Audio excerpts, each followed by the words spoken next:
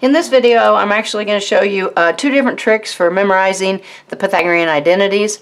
Um, there are three of them, and I am assuming that the very first one, which is the most common one, you will not have uh, trouble just knowing it. It is sine squared x plus cosine squared x equals 1. Now, for my first method, um, usually the way I do this is I just remember that all three of them have a 1 in the equation.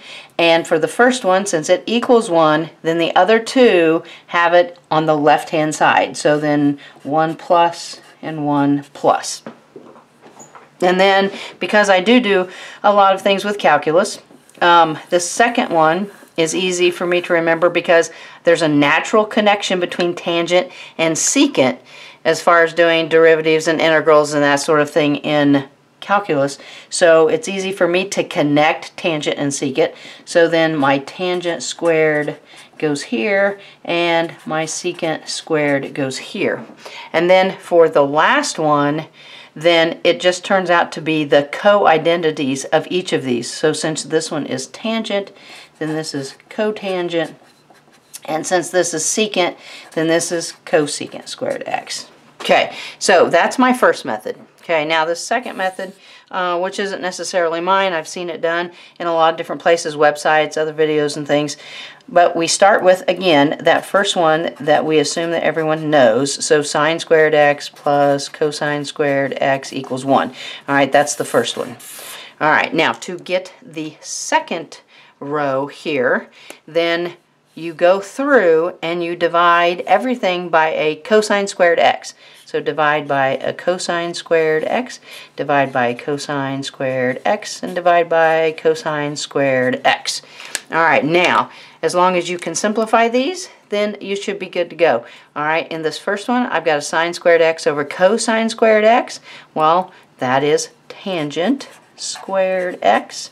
All right, anything over itself is always 1, so cosine squared x over cosine squared x is going to give me a 1.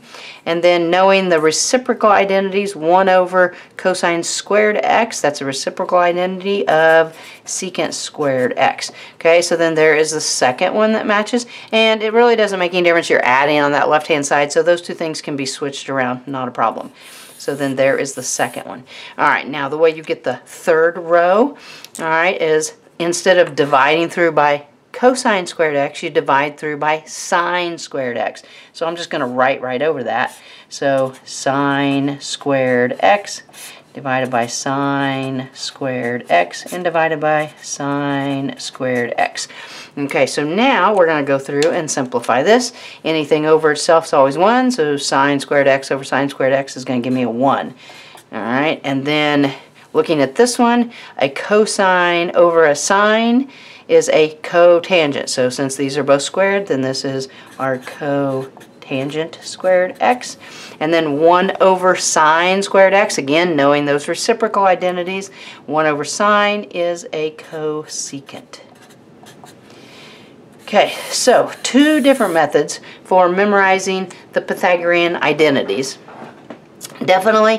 Thanks for watching. And if the videos are helping you please share with your friends. And don't forget to subscribe to the channel. Thanks